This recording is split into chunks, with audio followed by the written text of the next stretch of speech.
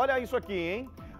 A PRF apreendeu 244 quilos de cloridato de cocaína. Cocaína, né? Isso, essa apreensão aqui aconteceu em Água Clara. Isso aí, gente, representa um prejuízo ao crime organizado de 44 milhões de reais. A apreensão aconteceu durante uma abordagem a um caminhão que estaria carregado com minério de ferro. Só que o motorista, de 29 anos, demonstrou certo nervosismo durante a abordagem, né? Quando foi é, perguntado, questionado pelos policiais. Aí, logicamente, os policiais suspeitaram do rapaz, fizeram buscas ali pelo, pelo veículo, olha essa carreta aqui, ó. Fizeram buscas e na cabine encontraram um compartimento secreto.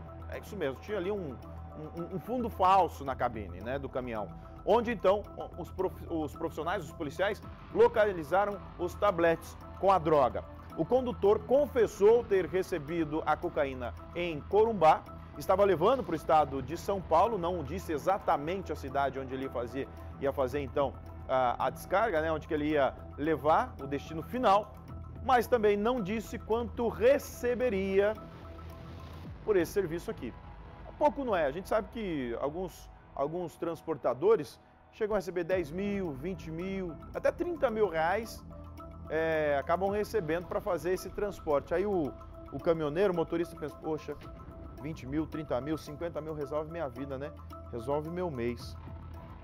Só que com essa quantidade de drogas aqui, ó, o tráfico de drogas em si já é um crime inafiançável, né? Tem até um peso maior pela quantidade de drogas, porque isso aqui já.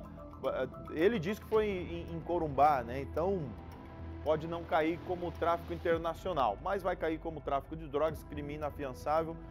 Vai gastar uma bela de uma grana agora com o advogado, tudo que poderia ganhar. Isso se receber alguma coisa, vai pagar advogado, vai ficar fichado, vai receber, é, vai ficar com esse é, registro na sua ficha criminal.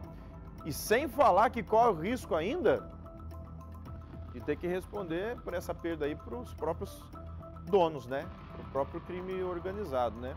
A gente sabe que o crime não, não perdoa.